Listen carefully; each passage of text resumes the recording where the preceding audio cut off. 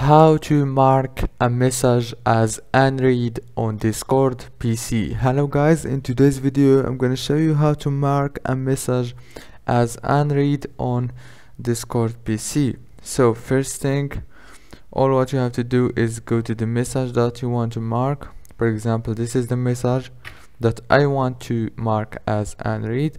Click on those three dots here on the message and now choose mark unread.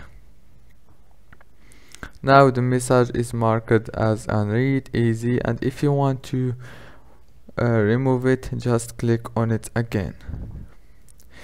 If this video was helpful please don't forget to like and subscribe and thank you for watching this video until the end